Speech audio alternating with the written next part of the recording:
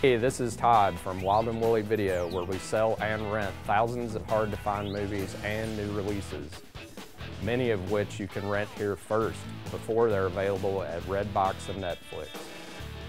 You can also return your rentals at any Heine Brothers Coffee location. Wild and Woolly Video, helping to keep Louisville weird since 1997. It's wild and woolly.